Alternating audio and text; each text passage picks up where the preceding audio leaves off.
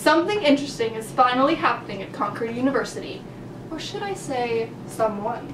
The Laurence boy is here! Ever since coming here, we've heard about Dr. Laurence's grandson. Dr. Laurence is the president of the university.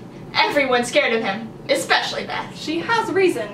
He just looks disappointed at you, and you don't really know what you've done to disappoint him, but you instantly feel like you should head back to your room to study or pray or something.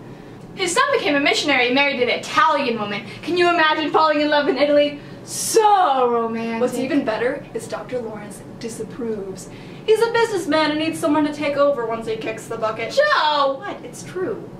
Anyway, his grandson's been studying in Europe, and Dr. Laurence refused to pay for any more schooling unless he comes here.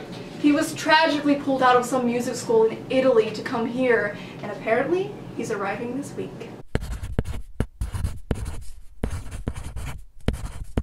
Are you talking about the Laurence boy? Yes, want to join? Are you recording it? You're not gonna put it on the internet, are you? Never! of course we are. Why else would I be talking to a camera? Come on, Meg, join us. I don't know if we should be. He just tweeted. Ooh, You have Twitter notifications for him? stop. What did he say?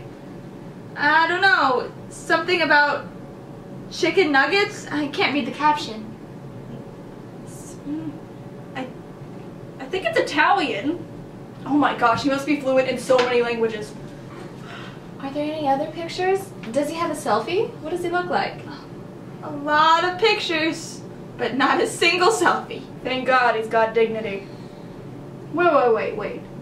Is that inside the Vatican? He took pictures inside? He's a rebel. I don't like him. He tweets so much. Met John Barrowman today. What a nice guy. Who is this guy? Oh, I can't wait to meet him. We have to have at least one class together, right? Just tweet him. I'm not going to tweet him, Amy. Why not? He's the president's grandson. I don't think social media is the right place to make a first impression. I have so many questions to ask him. I'll be too scared to talk to him. Oh, nonsense. So you're just gonna go up and start asking him questions? No, I'll say hi first. Jo, you're not just gonna walk up to him and say hi, right? Why not? Because he's the president's grandson. And, It, it isn't proper. oh, what is this, the 19th century? Screw propriety. Jo, don't say screw. Jo, you need to watch what you say. Remember how we talked with Marmee about James 3 the other week? Can both freshwater and saltwater float in the same spring? Oh, can't I go a day without someone quoting scripture at me? Jo, you go to a Christian college. That's enough excitement for one video. Stay tuned, for I will find out more about this Laurence boy.